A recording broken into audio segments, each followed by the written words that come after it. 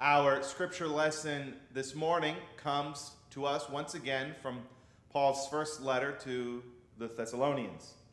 We're in the fourth chapter, looking at verses 13 through 18. I invite you now to listen to the good news of Christ.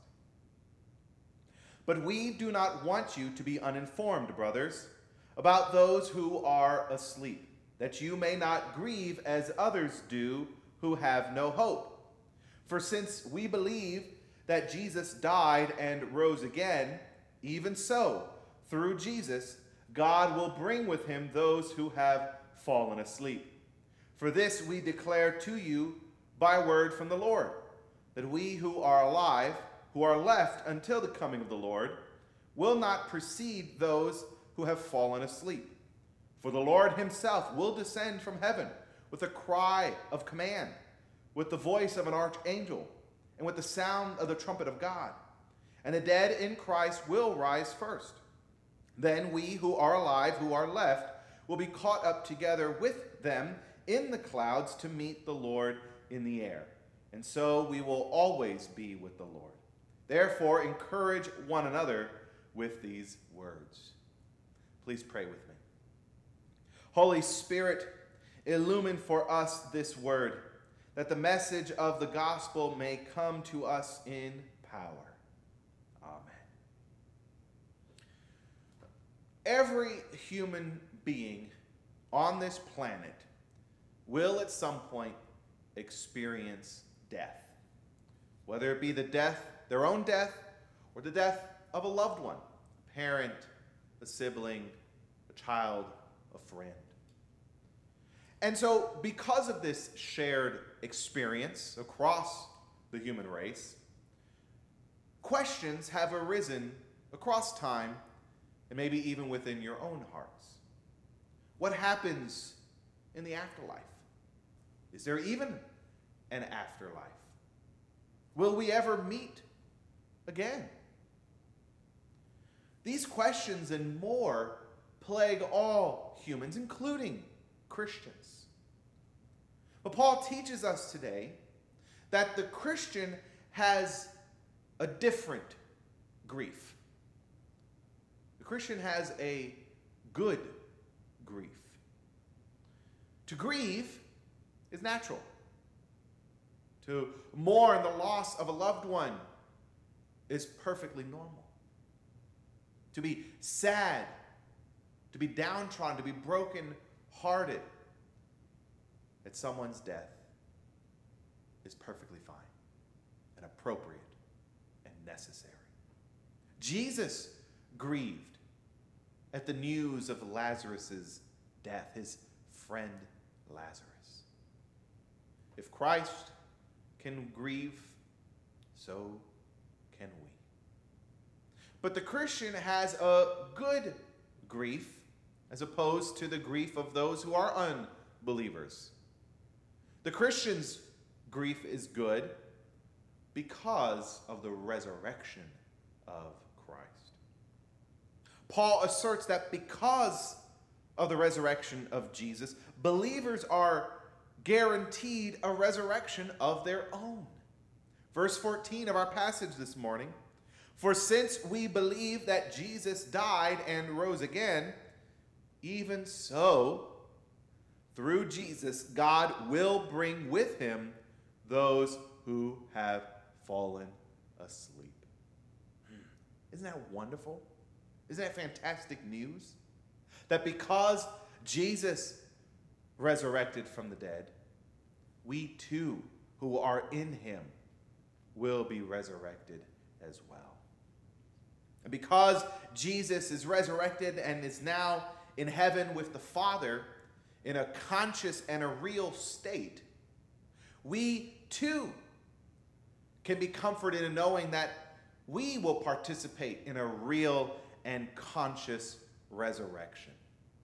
Elsewhere, Paul is adamant that death in Christ is actually far better than a life without him. Have you ever thought about that? Unbelievers have no hope of a better life after death. And thus, Paul admonishes the Thessalonians not to be uninformed, that you may not grieve as others do who have no hope. Our grief is good, our mourning is hopeful because of the hope of the resurrection. Remember, death has lost its sting. Christ has won for us victory over the grave. Nothing can separate us from the love of God in Christ Jesus. Christian, you should not be afraid of death. I see it all around us. I see it on my Facebook news feed. Christians are afraid of death. That should not be. We shouldn't embrace death. We shouldn't go chasing death. But death should not fear us, should not frighten us. Death should not make us tremble. Because we know, we know it's not a, a supposition, it's not a guess, it's not an opinion, it is true knowledge, it is fact that when the Christian dies, he or she will join Christ their Savior. That is fantastic news. But instead, I look out around on the media and I see people running around scared because of this coronavirus. Yes, we should be prudent. Yes, we should be safe. Yes, we should be healthy. But we need not be afraid. We need not fear. Because God is in control. God is in control of the virus, but more so, God is in control of your destiny. And that gives me comfort. That gives me hope and strength, knowing that I can rely on the Good Shepherd to guide me, to guide my soul into the afterlife. But this misunderstanding on death is not unique to our time. Indeed, that misunderstanding is what caused Paul to write this portion of his letter. The Thessalonians had misunderstood what happens when a believer dies. Paul uses the phrase when talking about the dead, those who are asleep. This was a very common metaphor in the ancient world. And indeed, it's a good metaphor because it carries with it the implication of resurrection when the body wakes up, so to speak. But this is not to be confused with the false doctrine of soul sleep, which denominations like the Jehovah's Witnesses or the Seventh day Adventists uh, perpetuate. They say that the soul is not conscious when a person dies, but rather the soul is asleep, disembodied, waiting to be awakened when Christ returns.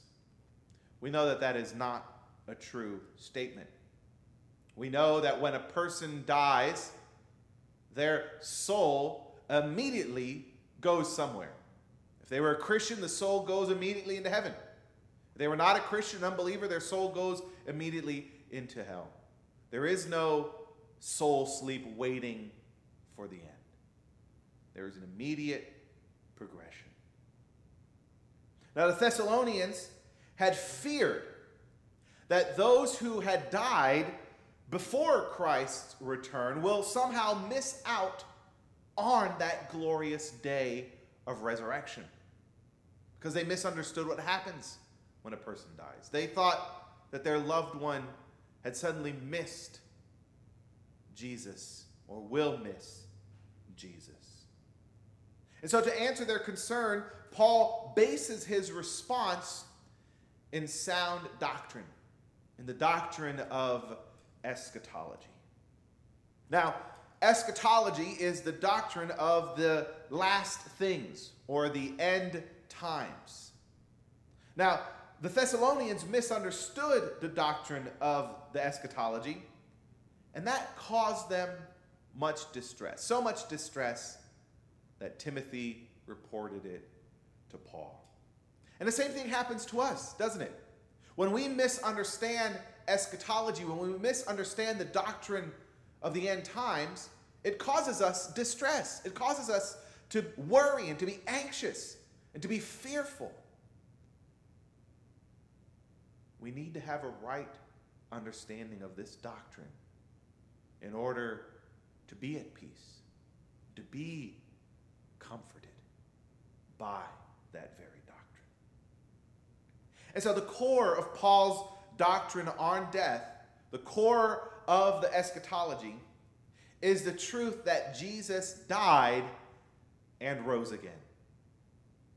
Jesus' death and resurrection is at the very center of the doctrine of the end times. Why?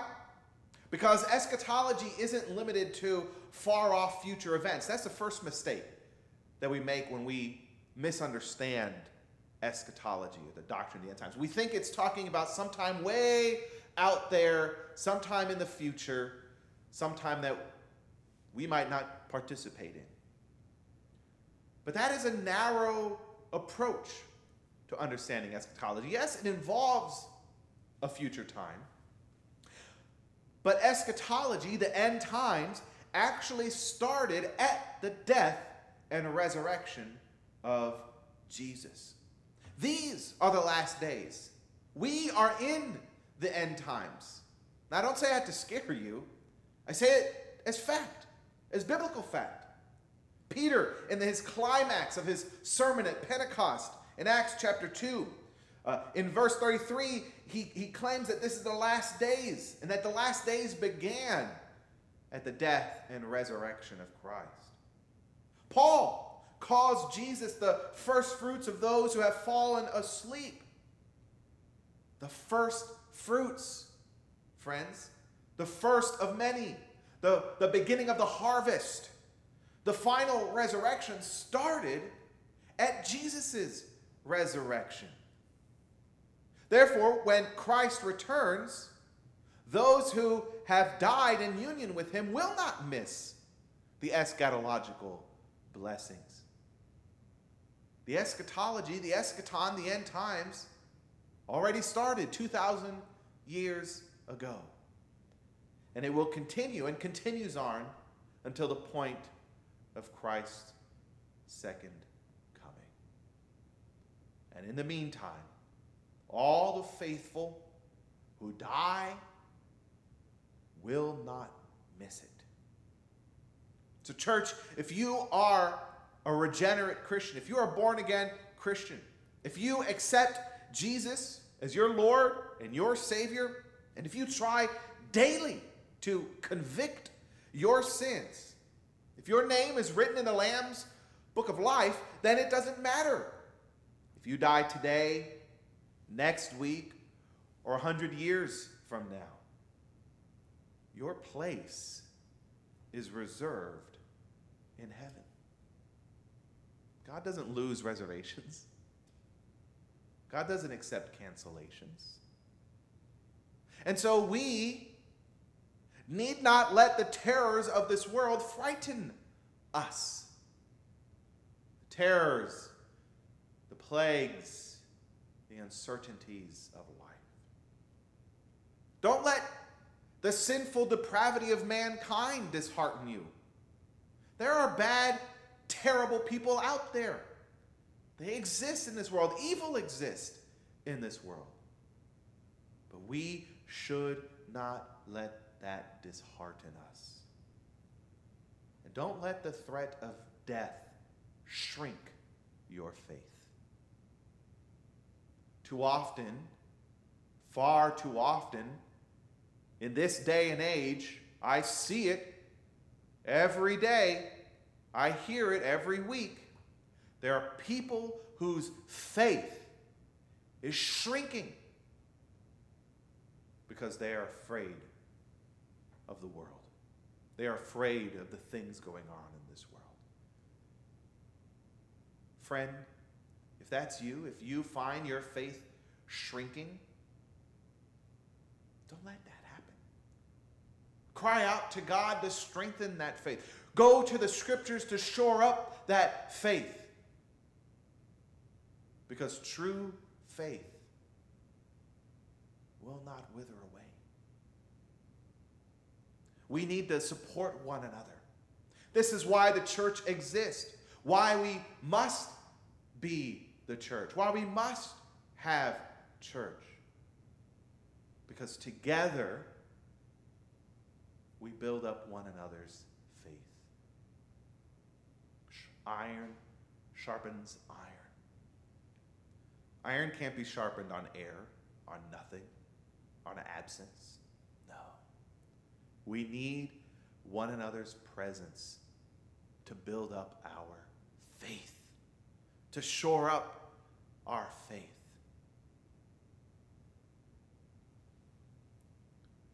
And since the end times have been in progress since the cross, we need to live as Christ commands us.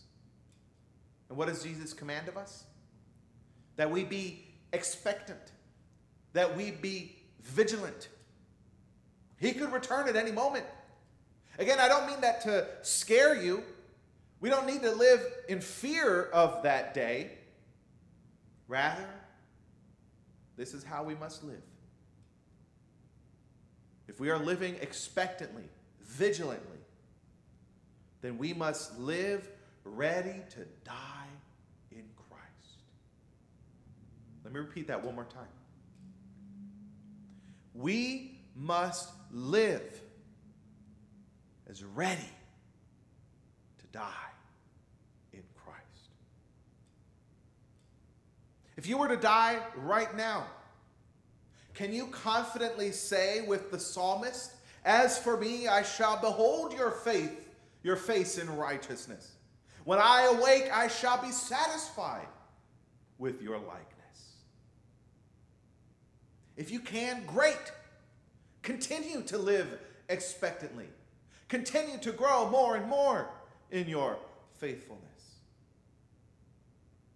But if you cannot respond confidently,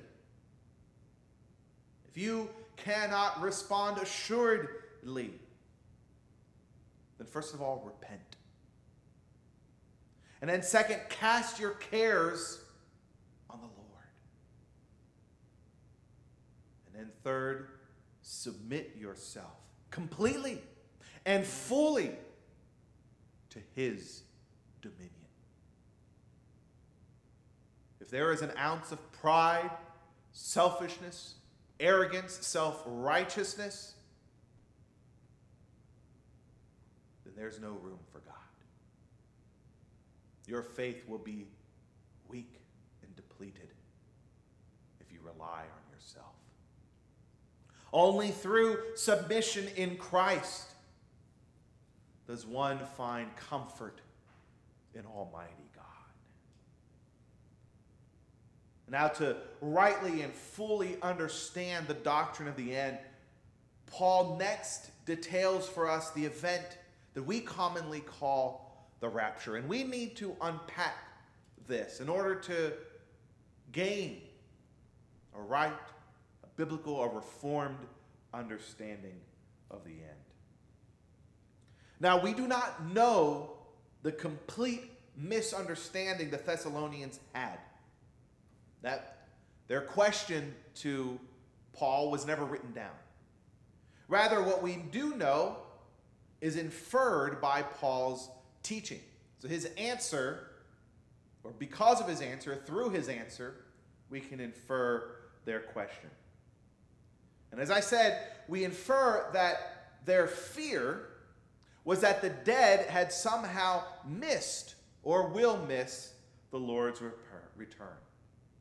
And so, in order to comfort them, Paul now enumerates part of the sequence of events at Jesus' second coming. Now, it's important to note that I said part of the sequence of events. Paul isn't talking about the whole end times or what it's all going to look like. He's just talking about a very specific point, a specific event in that whole series. And of course, we don't have time right now to unpack uh, the end times.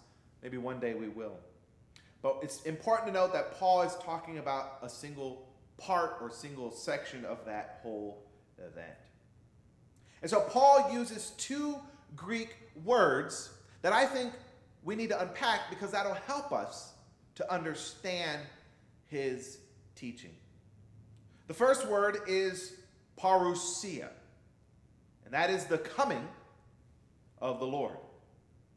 And the second word is apantesis, which is the meeting in the air. We're going to unpack both of those.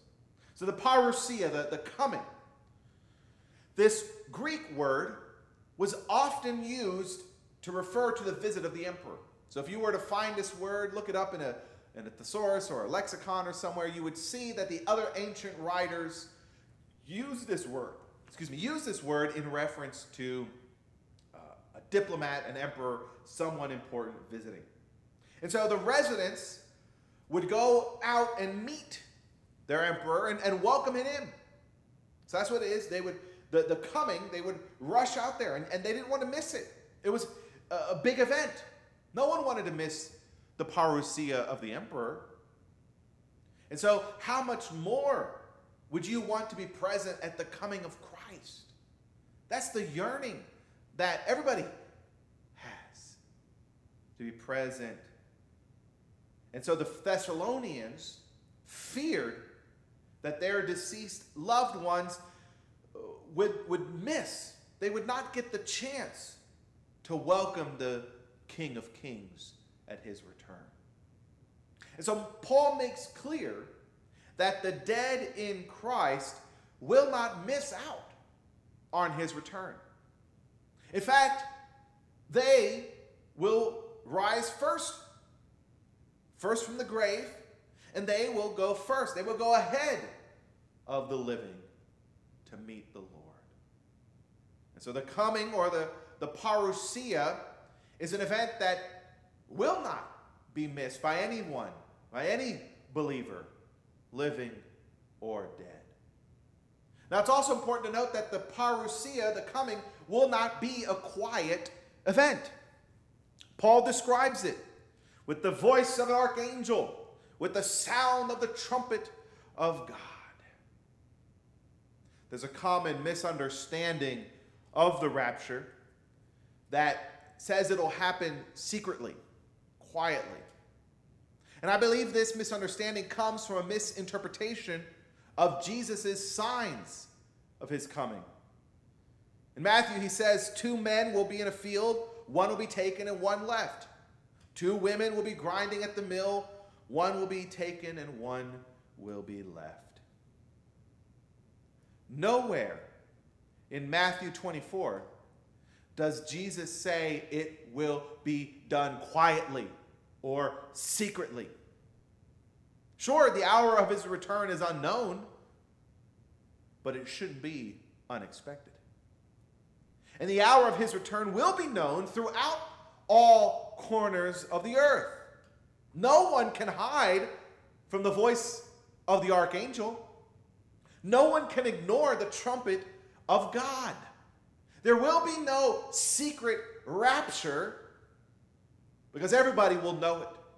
When Christ comes, when the end times are being consummated with his return, with the rapture, everyone will know. It will not be a secret event. Next word that Paul uses that I want to talk about is the apantesis or the meeting, meeting in the air. At that great and terrible sound, the dead in Christ will rise, and those who are alive will be caught up together with them in the clouds to meet, apantesis, to meet the Lord in the air. This apantesis, this meeting, was often used, unsurprisingly, in relation to meeting a visiting dignitary or the return of the emperor. Folks would meet this official with great acclaim and great fanfare. They would join with his, uh, with his troop, with his entourage, and they would come with him and travel with him to the city and through the city up to the castle or the keep or wherever. You know, the, the, the notion is that those who are gathering around, who are supporters of this emperor, will follow him into his chambers. And so, Paul, using that imagery, describes that believers, both the alive and both both alive and dead believers will meet the Lord of Lords as he triumphantly returns. Now, here's another common misunderstanding that we see in a lot of other denominations, probably denominations that are very close to us. The, uh, this misunderstanding is that there are two raptures. And this comes from a misinterpretation of a prophecy in Daniel and some of the visions in Revelation. Now, again, we don't have time to detail, but briefly, there won't be one rapture and then seven years later another rapture for those who are quote unquote left behind. That's not what I read right now. That's not what I see Paul says in Thessalonians. Both those who are alive and those who are dead in Christ, believers, will join him at his return. Christ would never leave any of his flock behind. Does that sound like the Good Shepherd to you? That some sheep would be left behind? Absolutely not. Now, one thing before, or one final word before we close, is we need to talk about Paul's purpose in teaching about the rapture. And that purpose is not to spark speculation. Too often, when we start talking about the end times, people start trying to find prophecies or trying to predict. We cannot do that, church. If you're trying to calculate, if you're listening to preachers who are predicting and calculating, that is wrong. Repent. Jesus himself says, No one knows the hour of his return. And so Paul's teaching on the rapture, on the end times, is so that we will comfort one another. The last verse in our passage, therefore encourage one another with these words, with what I just said. Comfort and encourage one another. Are we living in the end times? Yes, absolutely. But that should not discourage us. That should not frighten us. The fact that the last day's timer has started at the cross should comfort believers. The faithful should be comforted knowing that the end is near. Believers are assured because of the rapture, because of this doctrine. Believers are assured that life continues after death. And believers are assured that Jesus will not lose any of his children, dead or alive at that time. None will be left behind.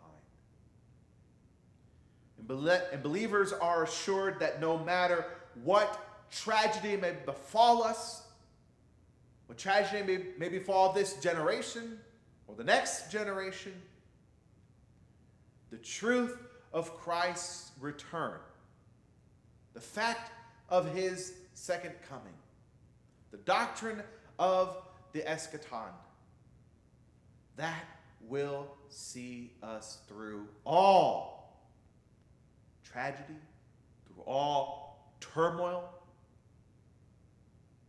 through all So, friend, I hope you find comfort knowing that Jesus will return. Will you please pray with me? Heavenly Father, we thank you so much for the Apostle Paul and his teaching on the end times. Lord, we are so grateful for Jesus' resurrection, which is the core of this doctrine. But more so, we thank you for Jesus' resurrection because we know that it precedes our own resurrection. Just as Christ suffered, we should not be surprised about suffering. And just as Christ was resurrected from the dead, so too shall we. And so, God, I pray on behalf of those around us, those who are sad, who are grieving, who are mourning. Lord, I ask for good grief, for hopeful mourning because these things come to us in light of the resurrection. Lord, comfort those believers who sorrow at death.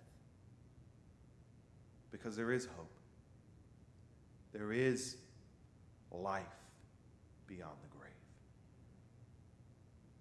And Lord, I ask that you be with those who need to confess their own sins, their own follies.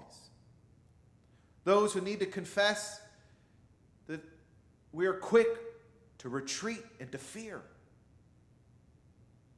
We are quick to retreat into speculation. We are quick to retreat into doubt. Forgive us for being afraid. Forgive us for our proud predictions. And forgive us for our doubtful minds. And Lord, in that same forgiveness, in that same confession, we ask that you replace the sin in our lives with a right understanding of Jesus' return. Lord, we need somewhat to understand and somehow what Jesus is going to do. And we are so thankful that you have preserved for us the details of that event. The books of Daniel and the teachings of Jesus and Revelation and Paul and elsewhere. Lord, we are so grateful that you have given to us your word. And so I ask, I intercede on those around me to be with them, open to them your word, and reveal to them the assurances that you provide to believers. Because they're there. They're written black and white. And in that, in your word, in your unchanging and in your inerrant word, we find our hope. In Jesus' name